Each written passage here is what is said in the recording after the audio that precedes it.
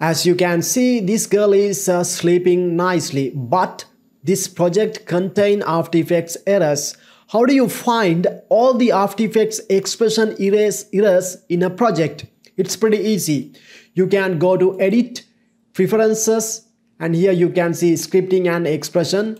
Click here, and it will open the After Effects uh, uh, Preferences uh, dialog box.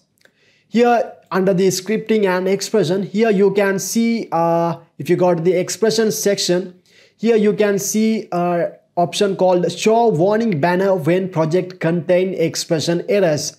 You must turn this checkbox on and click ok. Now it will display all the expression errors in this project. You can click ok. And uh, as you can see it will pop up this expression error banner right as you can see, this project contain expression errors. It contains two errors and the error number one is uh, at the composition of the photo 13 composition in uh, photo 13 composition and the layer is uh, RGB1 layer and opacity uh, property. If you want to move to the next expression error, you can click here and you can find the next expression error.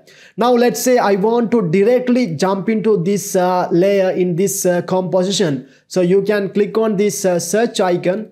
It will open that composition and it will display that expression error as you can see in the photo 6 composition and the RGB1 layer. If you take a look at the layer name, it is RGB1 and the property is the opacity, right? As you can see, this expression in the uh, opacity right? So you can click on this uh, explanation mark to see more details about this expression error. And you can click here and you can fix that expression error. So this is how you find all the expression errors in after effects uh, project. If you like uh, these kind of after effects videos please subscribe to adobe rider and i'll be back with the next video. Thanks